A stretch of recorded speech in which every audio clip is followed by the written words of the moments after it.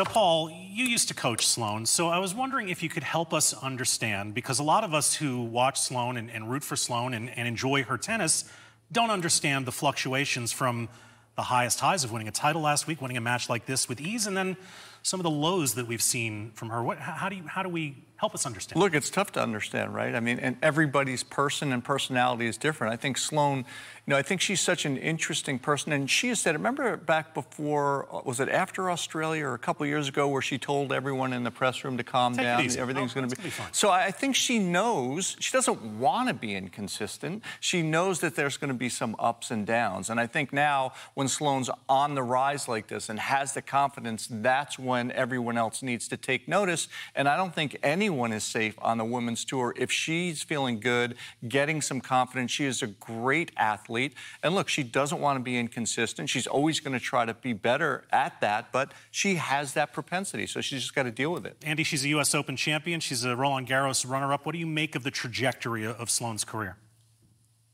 Uh, well, eh, eh, you know, it's it's a little bit like a heart rate monitor. Um, eh, you know, big peaks and, and, and some valleys tucked in there uh, as well. But I'll tell you one thing: uh, people on tour they see her starting to win matches. You know, not all challenger winners are the same right? You can see someone win a challenge, you're like, okay, that's great, but you know, maybe they got a seven foot ceiling with their game. Sloane Stephens wins wins a challenger, and you're going, oh no, here we go. This could mm-hmm. be the start of a little little little Sloane run here. So you know, the, I, I'm sure she would tell you the delta between her her great stuff and her bad stuff is probably as significant as anyone else on the WTA tour, but.